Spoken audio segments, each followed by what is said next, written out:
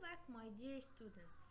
In chapter 4 we are going to talk about planning business messages. Either it is oral messages or written messages. Let's start. The communication process. What are the elements that compose a communication process? We have a sender who has an idea, who encodes the idea, who again select the channel and transmit message.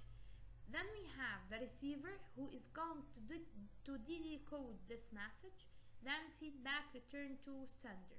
So if you are a sender, so that means that I have an idea and I need to want and I need to communicate this idea through whatever channel I want to either it's an oral or written message and then I have the other part is the receiver who is going to understand my message and give me feedback. Factor that shape understanding. The communication climate, context and setting, background, experience, knowledge, mood, values, beliefs, culture, and barriers that create misunderstanding. The bypassing, the bypassing it means that a word is misunderstood. So I am saying a word and the receiver does not clearly understand the meaning of my word. So again the message would have a miscommunication or would lead to a miscommunication because he doesn't understand clearly what I meant by the word I said. Then the lack of the language skill, differing frames of reference. Each one of us has a frame of reference which is different from the other based on your belief, culture, your experience, your education. So it's different from one person to another. Maybe the word or the message you are trying to send to me, I would understand it according to my frame of reference. So you need to keep this in mind whenever you are trying to send a message. Number four is the distraction. Either it's from a noise or whatever or another method of distraction. Overcoming communication obstacles. Realize that communication is imperfect. Adapt the message to the receiver so you need to know your audience, the one you are sending the message to. Improve language and listening skills. Either you are writing a message so you need to improve your writing skills and if it is an oral message so you need to improve your listening skills. Question your preconception what's the aim of this message? What's the target? What's the idea of the message? So and then write your message or form your message. And then ask yourself is this message clear would the one who's going to read or listen to my message would understand the idea? Encourage feedback. Feedback is important. To make sure that the receiver understands your point of view or the idea in your message. And there is no miscommunication Defining your business writing goals. Purposeful, economical, audience oriented. So you need to have a purpose from this writing and then it must be economical, short, it means audience oriented. Depends on your audience. So whenever I change the audience, it means that it changed the way I'm writing or the message. Introducing the 3 by 3 writing process It consists of three phases. The first phase is pre-writing. I need to analyze the audience, why I'm writing this, the reaction to the message, and then I have to adapt the message as I said to my audience. And then I move to the next phase. I need now to start drafting. It means writing my message. Research background, collect information, organize your information, and then write your first version. And then comes the last phase, which is totally important. It's the revising phase. You have to edit for clarity. If the message is not clear, then proofread it, read it and edit until it's clear. Evaluate whether the message will accomplish the goal or not. If the one who's going to read my message, would he get the idea? My goal would be achieved. Then this means that my message is clear. Then send the writing process. The process is uh, recursive, it's not linear. So it means that it's like a cycle. You don't have to move from one point to the other. You have to come back and forth. Then you pre-write, draft revise and then go back to drafting and then go back to pre-writing so it's not the only one direction like it's going back and forth and the pre-writing phase it takes 25% of the writing process the drafting other 25 and 50% on the revising. And this shows how revising is important and is continuous. It's not on a certain part. And whenever I am pre-writing I'm doing a revision. I'm revising why I'm writing my audience why I'm doing this. And when drafting again I am revising and assuring that my idea is uh, clear anticipating and profiling the audience. My primary audience. Who is the, the primary reader or listener the personal and professional relationship the position and then I have to move to my secondary audience and then ask myself this question in order to make my message clear Remember that receivers will be thinking, what's in it for me? What's in this message for me? Factors affecting channel choice.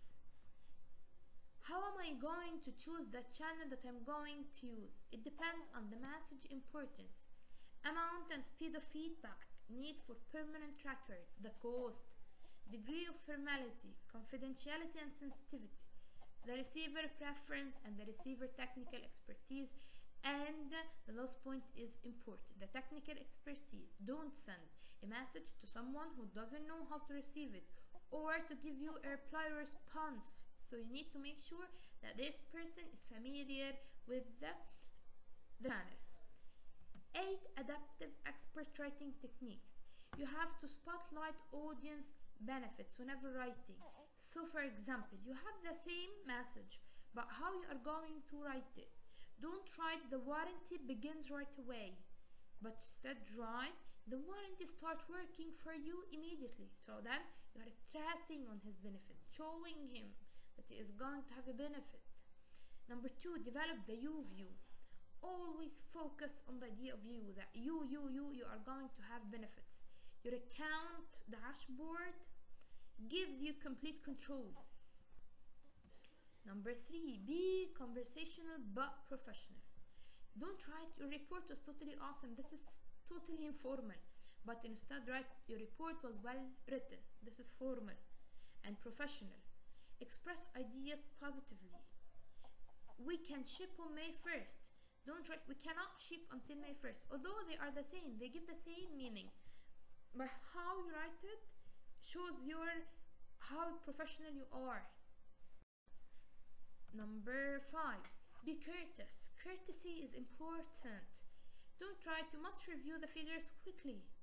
Please review the figures quickly. Show respect to the one you are sending the message to. Number six, employ bias-free language. Don't write our office girl can do this for you, but write our office worker can do this for you. Don't be gender bias.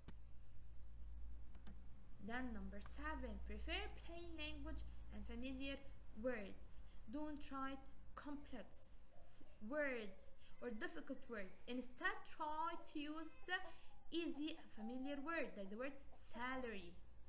Number eight, employ bias-free language. Don't write, please contact me, but write, please email me. Then developing reader benefits and the you view as we said.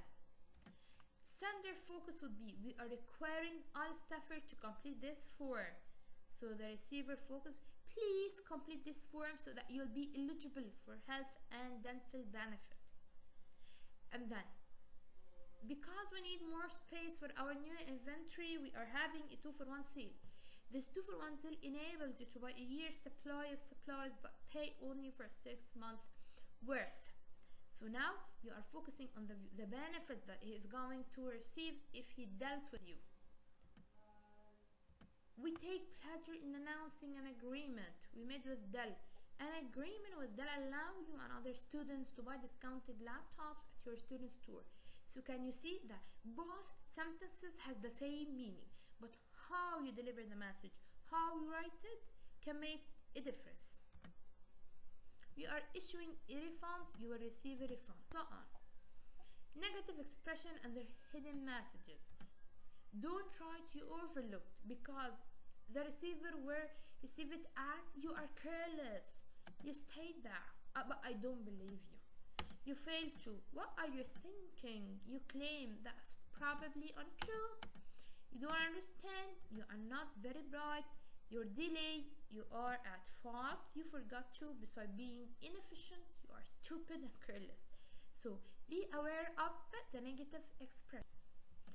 Three phases in team writing. If you are writing in team, that you need to go through phase one, which is pre-writing. The team member work closely to determine purpose, audience, content, and organization. And then comes the drafting. They work separately to collect information, compose first draft, and finally the revising phase, which we said that is very important. Teamwork together to synthesize, edit, but individual may do the final formatting and proof reading. Team collaboration using a wiki. A wiki is a platform, a website that allow all the team members to access all the document, to work, to write, to edit, to revise, so they can all work together on all the documents. So it allows contribution, editing, revising, monitoring, reference, commands, project completion, information storehouse. That's it for chapter 4. But still, you have to read the chapter in your book before answering the discussion, the assignment, and your quiz. Let's move to discussion. In your discussion, it says conduct some research online to learn more about the CBO approach that answer the following questions. The CBO approach is communication by objectives. It's a process whenever you want to write a message, you have three phases. The first phase is to plan for your message.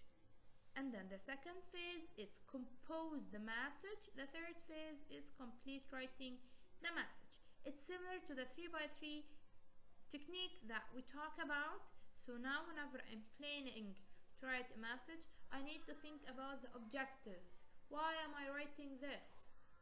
And then I move to writing the message, to composing. It's like a draft. And then finally complete the message.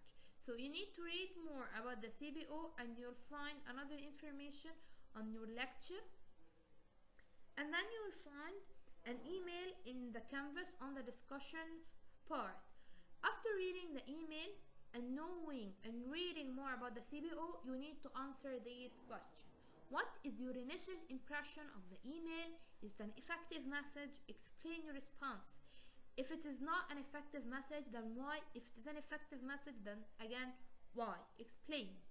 How would you feel if you received this email as a salesperson on the team? Would what would you, your impression be of the manager after you received the message? Using the CBO approach, what are three specific changes you would make to the email message to make it more effective? Consider the tone, the audience, the purpose of the email. So that's why you have to research the CBO, the communication by objective approach, and to search online for it because you are going to do changes based on this approach. Now let's move to your, for your assignment, you have a scenario. It says, imagine you received your new sunglasses in the mail from Sunnytime Sunglasses. You spent $100 for the glasses, but they broke after you wore them for only a few minutes. You want to get your money back or to repair it at no cost. You call Sunnytime, you email the company, and your last option is to write a complaint letter to the company. So, in a Word document, write a customer complaint letter. Following these steps, use the CBO approach and the 3x3 writing process as your guide. So now you have to plan before writing, to think, why am I writing this? And then move to from the pre-writing to a draft and then to the revising or to the CBO approach, which is similar to the 3x3 writing process, which is planning the message then composing the message, and then completing your message. Determine who your audience is, describe the purpose of your letter, outline the issues request a resolution as you would like to see it. So that's it for your assignment and then you have a quiz module. Thank you my students. Best of luck.